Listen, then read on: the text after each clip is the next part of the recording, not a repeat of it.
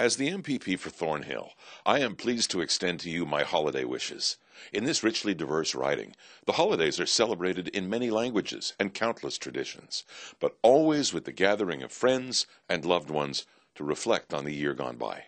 This is also a time to reach out to those in need in our communities and send our thoughts to those who can't be with us.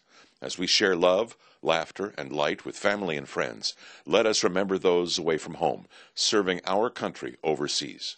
From my family to yours, have a wonderful holiday season and a new year filled with joy, health, and prosperity. Happy holidays.